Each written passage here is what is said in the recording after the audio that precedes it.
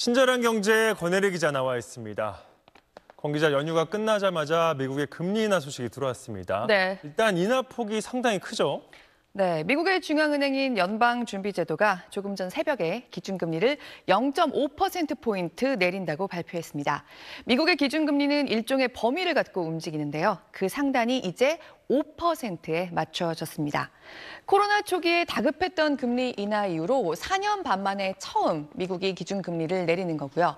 물가가 걷잡을 수 없이 치솟으면서 2022년 3월부터 시작했던 금리 인상기 이후로 따지면 2년 반 만에 미국이 통화 정책을 공식적으로 전환하기 시작한 겁니다. 지금 우리나라는 일시적으로 미국과 금리가 같아졌던 2022년 8월까지 포함해서 미국보다 우리의 금리가 더 낮은 이른바 한국과 미국의 기준금리가 역전된 상태를 26개월째 유지하고 있는데요.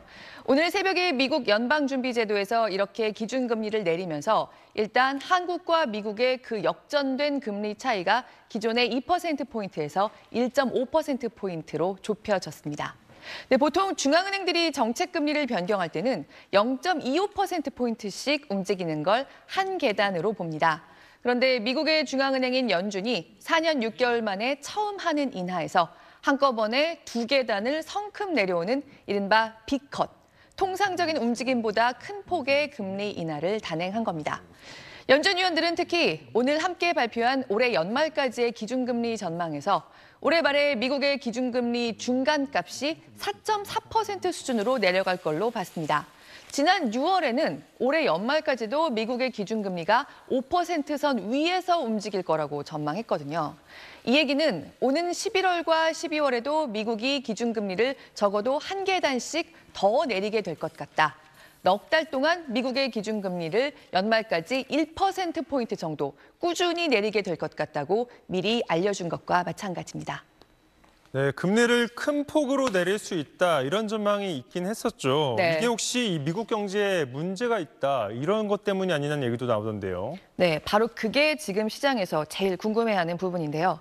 일단 연준은 물가 급등기에 나왔던 비판, 그러니까 연준이 너무 늦게 움직인다는 비판을 피하려고 한 속내가 읽힙니다. We don't think we're, we're behind. We do not think we're. We think this is timely, but I think you can take this as a sign of our commitment not to get behind. So it's it's a strong move.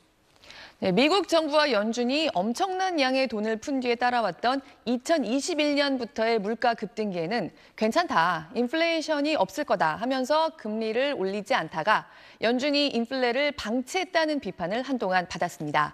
이번에는 미국의 경제는 여전히 괜찮고 침체 신호가 아직 보이지 않지만 경제의 활기를 이어가기 위해서 연착륙하기 위해서 과감한 결정을 내렸다는 게 파월 의장이 내놓은 설명입니다.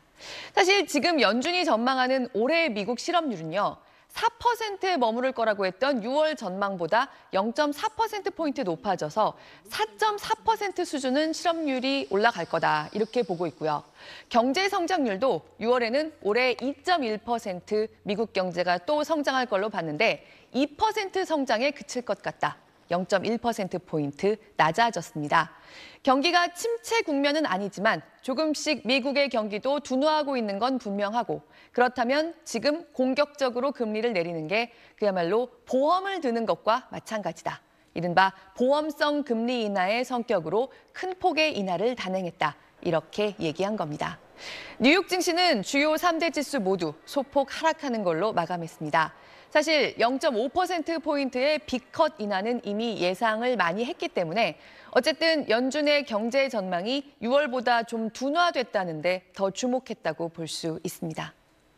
네, 우리 경제에 미칠 영향도 좀 짚어주시죠. 일단은 한국은행이 움직일 수 있는 폭은 넓어졌다 이렇게 볼 수 있겠죠.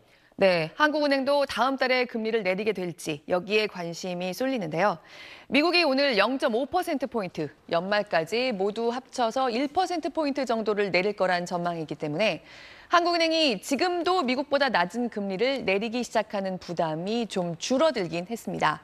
우리나라도 내수가 부진한 수준만 놓고 보면 사실 미국보다 금리 인하가 절실한 상황입니다.